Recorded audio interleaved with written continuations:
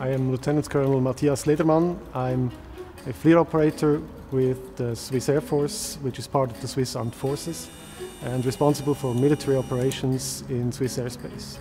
A specific task in this uh, responsibility is search and rescue. In these missions, time is critical because the missing person might be injured and in need of uh, urgent medical assistance. Often in these missions, the missing people are in remote areas or in rough terrain, and with our helicopter, we can quickly move there and begin the search. LifeSeeker is an important supplement to the instruments on board the helicopter. If a missing person has an active mobile phone, we can quickly narrow down the search sector and it helps us speed up the time to find the missing person.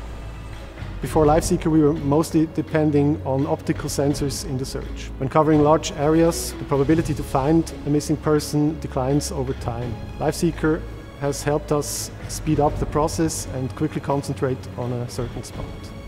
Our success rate has improved drastically.